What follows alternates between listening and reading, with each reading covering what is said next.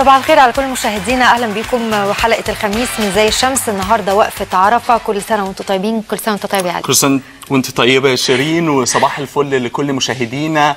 آه، المشاهد النهارده جميلة جدا. الحجاج ابتدوا آه، من يمكن الفجر النهارده إن هم يوصلوا لجبل عرفة علشان آه، يقفوا في اليوم الأهم والمنسك الأهم من مناسك الحج.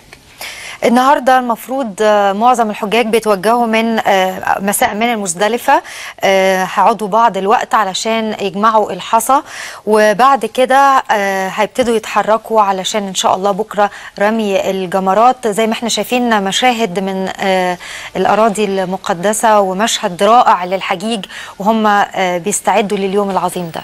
هو طبعا مشهد رائع فعلا.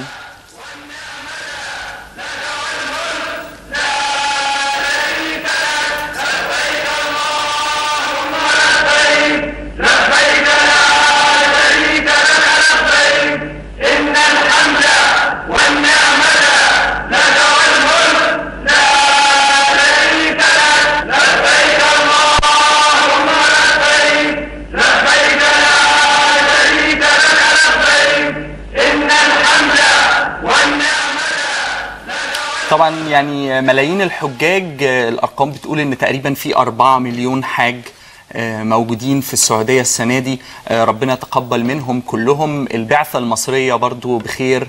آه، كل يوم إحنا بنطمن عليهم. البعثة المصرية ما راحتش منها امبارح طلعت على طول لعرفه علشان تيسيرا ليهم وعملا بفتوى أصدرتها دار الإفتاء من كام يوم إن هم يجوز ليهم إن هم يطلعوا على جبل عرفة على طول. النهارده كمان الجميل إن آه، الكعبة بتلبس كسوتها الجديدة وده آه، بيكون كل سنة يوم 9 آه، ذي الحجة. آه، الكسوة دي اشتغل عليها حوالي 240 آه، شخص وكلفت آه، رقم كبير جدا أعتقد ربع مليون جنيه تقريبا تقريبا آه ربع مليون ريال ريال. تقريبا آه, آه يعني مشاهدينا استعداداتنا للعيد مستمرة وكل سنة وأنتم طيبين. شيرين يمكن امبارح كان في آه يمكن في إطار استعداد الناس بالعيد إن كل ال- الناس نزلت الشوارع مرة واحدة علشان يشتروا احتياجاتهم آه وده مشهد جميل. ولكن كان في بعض الاختناقات المريه الرهيبة. يمكن مدينة نصر امبارح كانت كانت آه، كان فيها شلل تام. بالظبط. ودايما ده إحنا متع- متعودين على الموضوع ده دايما في الوقفة قبل رمضان. الناس بتهجم في الشوارع وبيكون في يعني شلل مروري تام لكن كمان في مدينة نصر امبارح بالحديث عن مدينة نصر كان في آه، آه، كان في القبض على آه، مجموعة في شقة في الحي العاشر ولقوا معاها أسلحة مهربة والغريب إن كان في أر بي جيهات وكان في آه، صواريخ مضادة للطائرات. فده كان خبر إن غريب هم جدا. ألقوا القبض عليهم. والحمد لله إن هي يعني عدت على كده. الحمد مش لله. واضح طبعا ما حدش قال لنا إذا كان دي عملية منظمة إن قوات الأمن قدرت تلقي عليهم بناء على معلومات ولا جت بالصدفة. لأن المعلومات اللي عندنا بتقول إن ال- ال- اللي اتقبض عليهم آه، حصل الأول حريقة في المبنى اللي هم كانوا فيه وبالتالي اتمسكوا وقوات الأمن حصرت المكان.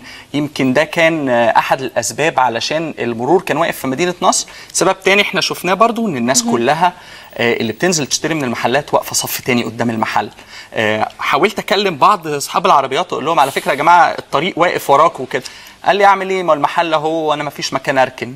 تهيألي لو سيبنا مكان شوية وركننا قدام وتمشينا هيبقى النتيجة أحسن بكتير لينا كلنا والشارع هيبقى آه، فاضي. أمنيات. أمنيات. نتمنى إن سلوك الناس يتغير بعض الشيء.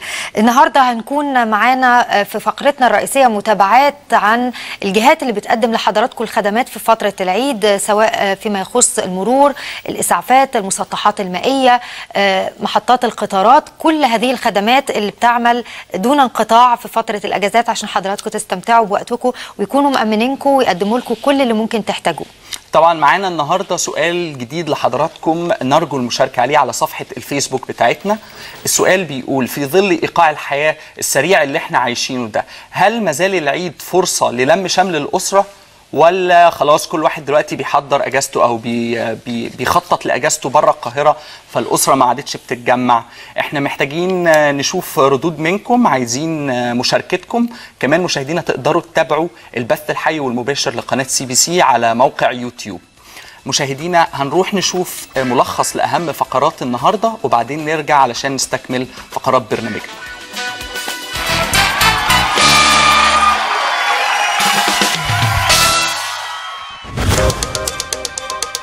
مع أول أيام إجازة عيد الأضحى هنتعرف على الحالة المرورية من خلال غرفة عمليات مرور القاهرة. قراءة في أهم عناوين الصحف والأخبار الصادرة صباح اليوم مع الكاتب مجدي سمعان الصحفي بجريدة التليجراف البريطانية. فقرة خاصة عن أهم القنوات على شبكة الإنترنت واللي بيقدم فيها مجموعة من الشباب برامج لجمهور الإنترنت ومواقع التواصل الاجتماعي. فقرة عن استعدادات الحكومة لاستقبال عيد الأضحى المبارك. ونكون فيها معاكم بمتابعة حية من محطة السكة الحديد برمسيس والإدارة العامة للنجدة بجانب غرفة عمليات المرور. قراءة للمشهد السياسي في فقرة خاصة مع الدكتور عمرو حمزاوي.